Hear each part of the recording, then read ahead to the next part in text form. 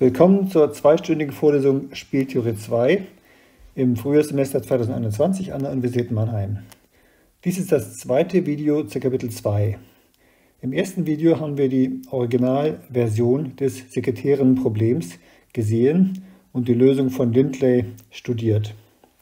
Nun kommen wir zu einer Variante, die 1984 Bruce aufgestellt und analysiert hat. Da wird die Zeit eine Rolle spielen. Bevor ich zur Variante komme, erinnere ich an einige Begriffe der Wahrscheinlichkeitstheorie. Zuerst erinnere ich an den Begriff des Wahrscheinlichkeitsraums. Das ist ein Triple Omega Skript A und P, wobei Omega eine nicht leere Menge ist. Skript A ist eine Sigma-Algebra auf Omega. Das hatten wir in Definition 1.1 gesehen. Und P ist ein Wahrscheinlichkeitsmaß auf der Sigma-Algebra Skript A. Auch das war in Definition 1.1 dran gekommen. Die Strippe ist dann ein Wahrscheinlichkeitsraum. Die Elemente von Skript A sind die möglichen Ereignisse. Die nennt man dann auch hier messbare Mengen. Und für jede solche Menge, Latein A in Skript A, ist der Wert P von A dann die Wahrscheinlichkeit dieser Menge. So, und jetzt eine ganz klassische Erinnerung. Ähm, bei, Im Falle Omega gleich R gibt es eine kleinste Sigma-Algebra, die alle Intervalle enthält. Und dann automatisch alle offenen, halboffenen, geschlossenen Intervalle. Und das ist die Borel-Sigma-Algebra, Skript B von R. Und die Elemente davon heißen dann auch Borel-Mengen. Jetzt eine kleine Aussage, ein Lemma. Wenn Omega AP jetzt irgendein Wahrscheinlichkeitsraum ist, dann sei jetzt noch x eine Abbildung von Omega in die reellen Zahlen.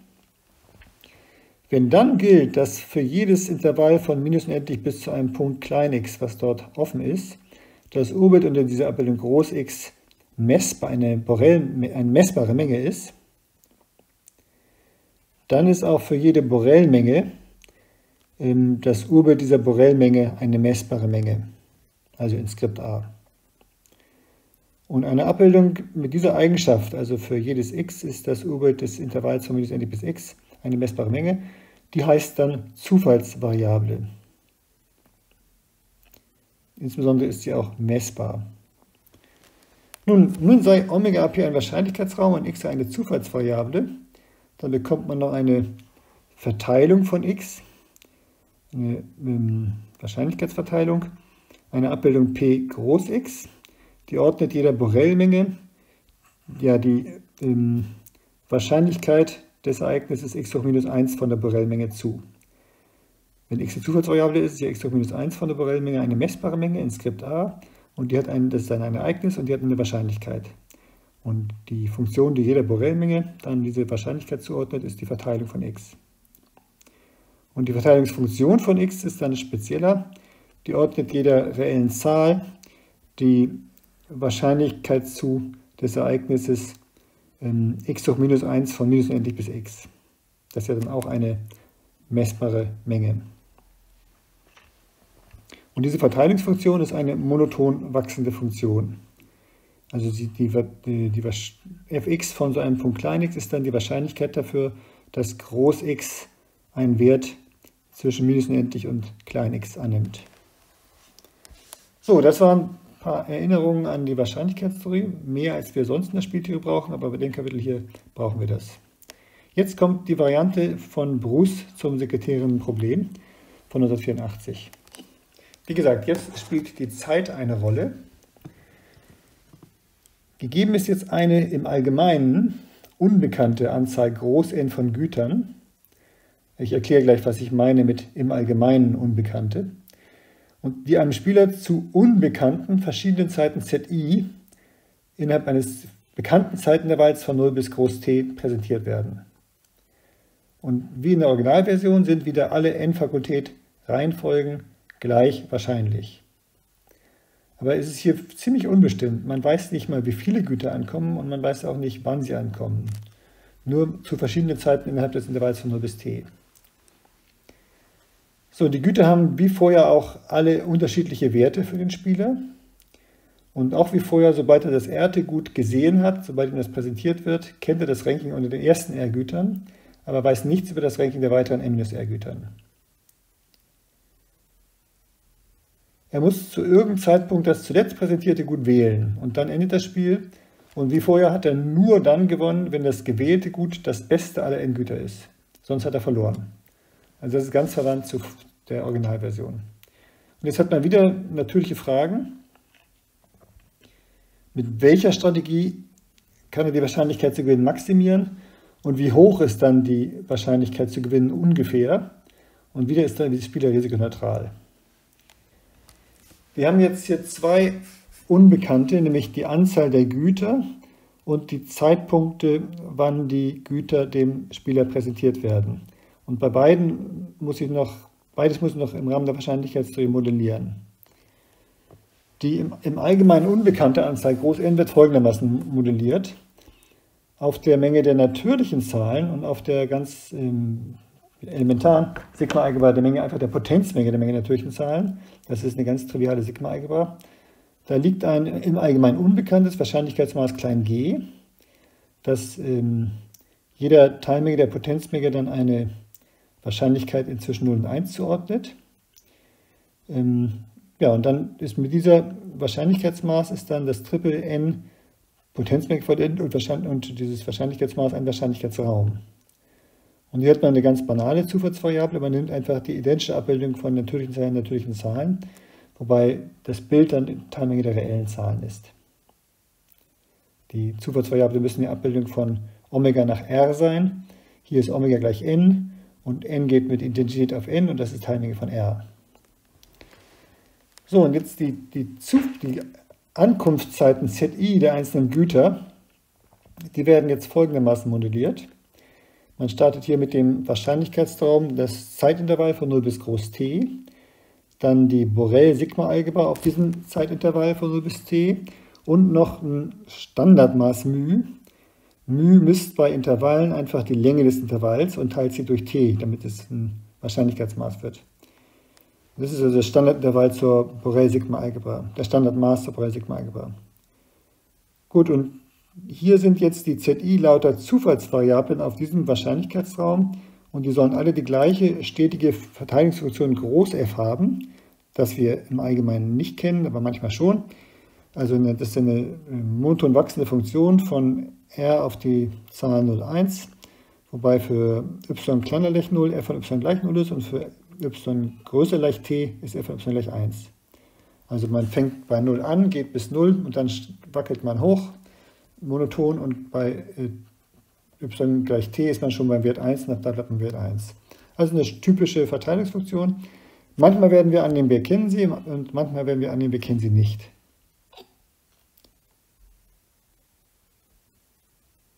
So, jetzt kommt eine Reihe Bemerkungen.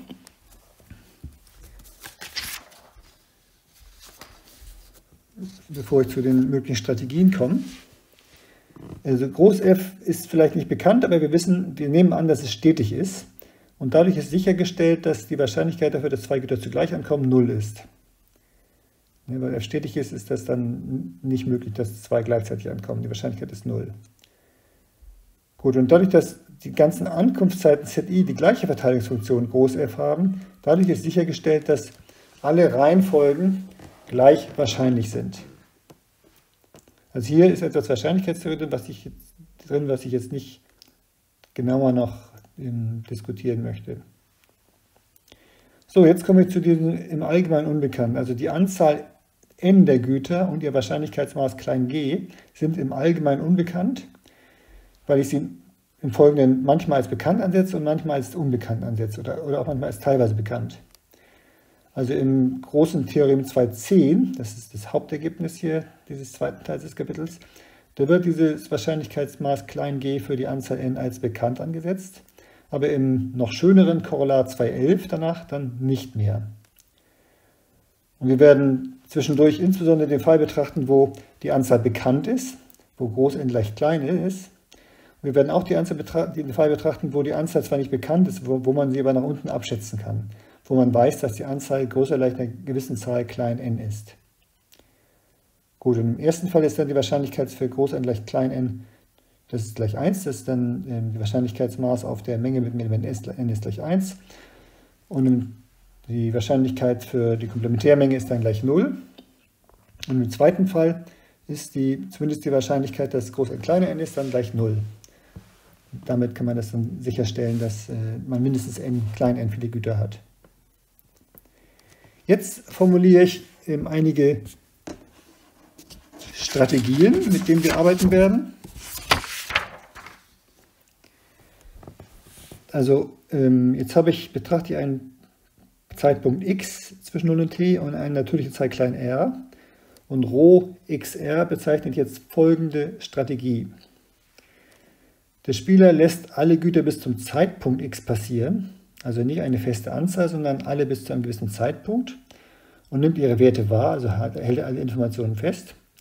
Und dann wählt er unter den Gütern, die danach kommen und jeweils einen höheren Wert als alle vorher angekommenen Güter haben, das erste Güt, gut, falls so eins noch kommt. Gut, falls so eins nicht mehr kommt, hat er verloren. Ich habe hier geschrieben, dann nimmt er zum Zeitpunkt hier das letzte, letzte kommende Gut, aber das ist völlig irrelevant. Wenn kein solches Gut mehr kommt, dann hat er verloren, egal was er dann tut. Wobei die Strategie mit im Falle r gleich 1 ist die wichtigste, die heißt dann die Rho x1, die wird auch einfach mit Rho x bezeichnet. Das ist die wichtigste und auch die klarste. Also dann der Spieler wartet bis zum Zeitpunkt x, lässt alles verstreichen, was davor passiert ist und danach nimmt er die erste Strategie, die besser ist als die Strategien, die vor x angekommen sind. Gut, im Falle Rho x2 zum Beispiel, da lässt er die erste, die besser ist als alle vorherigen, noch verstreichen und die, die danach, die, die nächste, die wieder besser ist als alle vorherigen, die nimmt er dann bei Rho x2.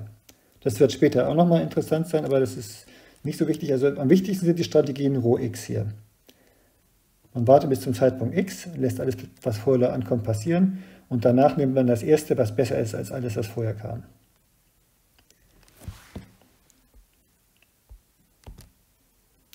So, besonders wichtig wird der Spezialfall sein, wenn das Zeitintervall normiert ist auf 0,1. Die Normierung ist ziemlich trivial.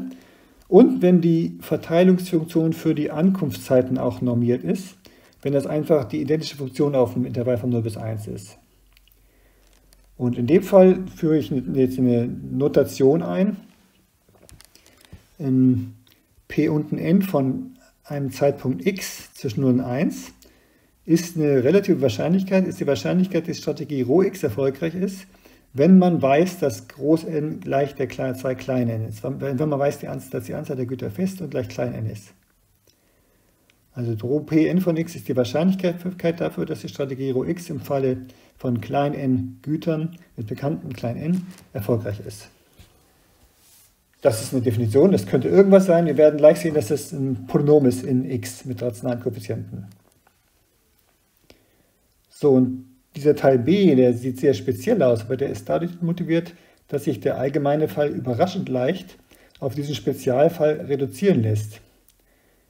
Und dass sich die Zufallsvariable n mit beliebiger Verteilung für die Anzahl der Güter g sich schnell aus den Spezialfällen, wo die Anzahl bekannt und fest und gleich klein n ist, zusammensetzen lässt.